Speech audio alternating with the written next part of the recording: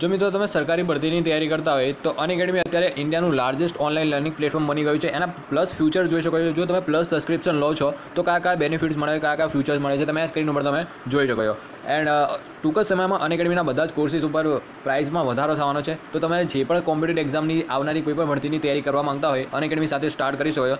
Link તમને ડિસ્ક્રિપ્શનમાં મળી જશે અને જ્યાં પણ કોડ માગે મિત્રો, ત્યાં ડીડી ટેન કોડનો યુઝ કરવાનો રહેશે. તો તમને દસ ટકાનું ડિસ્કાઉન્ટ તરત મળી જશે. બરાબર? ડીડી ટેન કોડનો યુઝ કરવાનો છે. ટૂંક સમયમાં બધા જ કોર્સીસ ઉપર પ્રાઇસમાં વધારો થવાનો છે.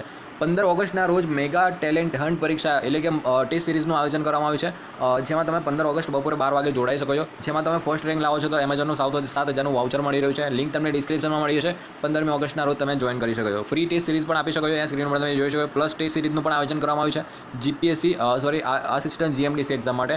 હવે આપણે બેચ કોર્સની વાત કરી લઈએ કે કયા નવા બેચ કોર્સ છે. તો અહીંયા અસ્મિતા કોર્સ છે સ્પેશિયલી જીપીએસસી એક્ઝામ માટે. અને બીજો છે પ્રહાર બેન છે એ પીએસએ ઈએસઆઈ માટે. તો બંનેની લિંક તમને ડિસ્ક્રિપ્શનમાં આપેલી છે. એના સિવાય જો તમે પોલીસ કોન્સ્ટેબલની તૈયારી કરતા હોય તો દસમી નવી બેચ સ્ટાર્ટ થાય છે નવ ઓગસ્ટથી. તેમાં પણ તમે એનરોલ થઈ શકો છો અને તમારી તૈયારી સ્ટાર્ટ કરી શકો અથવા તો તમે જીપીએસસીની એક્ઝામની તૈયારી કરવા માંગતા હોય ક્લાસ વન ટુ અથવા તો ક્લાસ થ્રીની તો પ્રિલિમ્સ અને મેન્સ આમાં આખું કવર થઈ જશે. એમાં અગિયાર ઓગસ્ટે આ નવી બેન્ચ સ્ટાર્ટ થઈ છે. તો જલ્દીથી આ બેન્ચમાં જોઈન કરી શકો લિંક તમને ડિસ્ક્રિપ્શનમાં આપેલી છે. અને જ્યાં પણ કોડ વાગે મિત્રો ડીડી ટેન કોડનો યુઝ કરવાનો છે. કયો કોડ યુઝ કરવાનો છે? ડીડી ટેન કોડનો તો તમને દસ ટકાનું ડિસ્કાઉન્ટ તરત જ મળી છે જો આપણે કોડ નાખો છો તો તમને કોઈ પણ કોઈ પણ બેન્ચમાં તમને આ પ્રાઇસ ઉપર તમને મળી જશે, બરાબર? અહીંયા વન મંથનું સબસ્ક્રિપ્શનથી લઈને ચોવીસ મહિનાનું સુધીનું સબસ્ક્રિપ્શન લઈ શકો છો, બરાબર? તમે જેટલા વધારે મંથનું સબસ્ક્રિપ્શન લો છો, એટલો જ તમને વધારે બેનિફિટ થશે, વધારે ડિસ્કાઉન્ટ મળી જશે, બરાબર? તો ડીડી ટેન કોડનો યુઝ કરજો.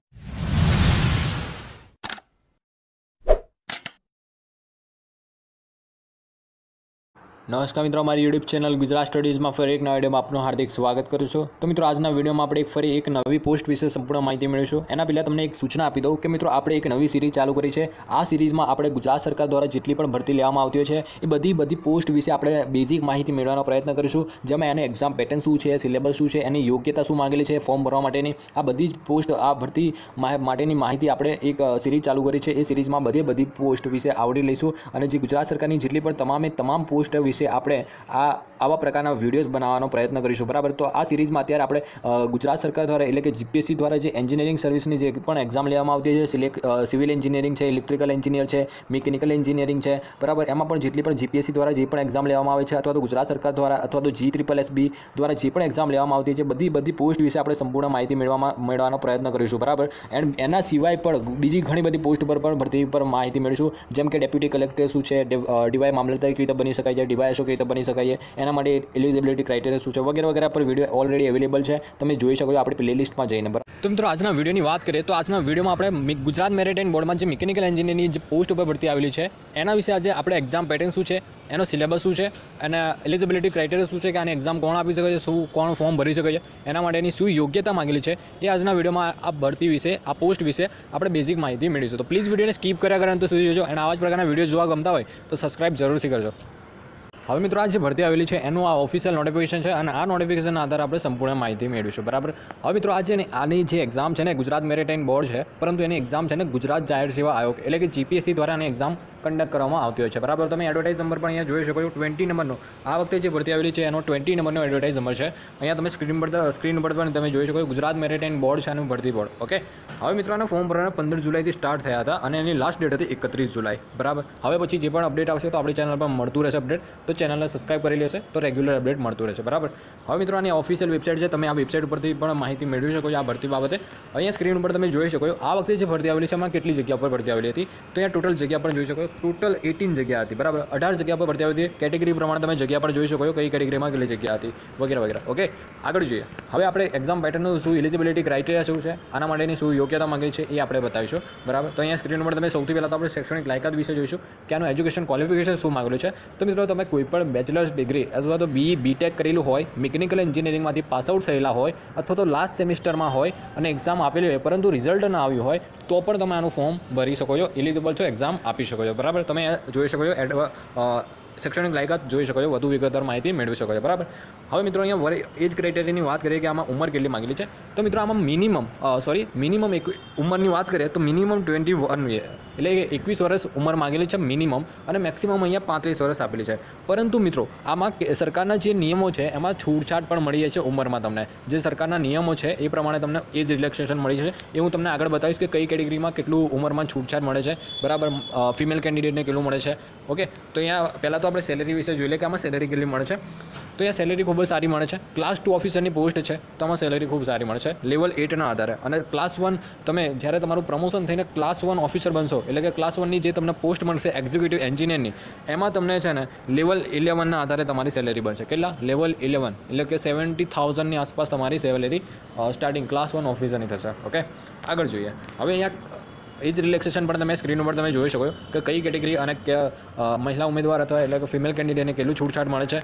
તમે વિડીયોને પોઝ કરી અને એજ રિલેક્સેશન જોઈ શકો છો. પાંત્રીસ વર્ષ પ્લસ કેટલી ઉંમરમાં તમને છૂટછાટ મળે છે. મેક્સિમમ પાંત્રીસ વર્ષ ઉંમર છે ઓકે આગળ જોઈશું. હવે મિત્રો, આમાં છે ને સિલેક્શન પ્રોસેસ શું છે એ આખું ડિફરન્ટ છે, અલગ ટાઈપનું છે. તેને ધ્યાનથી સમજો. તો હું તમને એકદમ સરળ રીતે સમજાવીશ કે કેવી રીતે તમારું સિલેક્શન પ્રોસેસ હોય કટ ઓફ માર્ક્સ કેવી રીતે કાઉન્ટ થાય છે વગેરે વગેરે. હવે મિત્રો આગળ સિલેબસ વિશે તો આપણે એકદમ ડિટેલમાં ડિસ્કસ ડિસ્કશન કરવાના છે. પહેલાં આપણે એક્ઝામ પેટર્ન સમજી લઈએ. કઈ પ્રમાણે તમારે એક્ઝામ છે, કેટલા માર્ક્સનું પેપર હશે. તો મિત્રો આમાં તમારી એક્ઝામ પેટર્નની વાત કરું, તો આમાં તમારે એક પ્રિલિમ્સ એક્ઝામ લેવામાં આવે છે અને એક મેઇન્સ એક્ઝામ સોરી ઇન્ટરવ્યૂ લેવામાં આવતું હોય છે. બરાબર? બરાબર? ઇન્ટરવ્યૂ લેવામાં. હવે જે પ્રિલિમ્સ એક્ઝામ છે ને મિત્રો, કેટલા માર્ક્સ છે? ત્રણસો માર્ક્સની તમારી પ્રિલિમ્સ એક્ઝામ છે. ઇન્ટરવ્યૂ છે ને મિત્રો, કેટલા માર્ક્સનું છે? હંડ્રેડ માર્ક્સનું છે. બરાબર? એમ કરીને ટોટલ ફોર હંડ્રેડ માર્ક્સ થાય છે, બરાબર? પરંતુ જે તમારું મેરિટ છે ને મિત્રો, પરંતુ જે તમારું મેરિટ છે એ ફોર હંડ્રેડ માર્ક્સમાંથી નથી બનતું. કેટલા માર્ક્સમાંથી બને છે? તો તમે અહીંયા સ્ક્રીન પર તમે જોઈ શકો.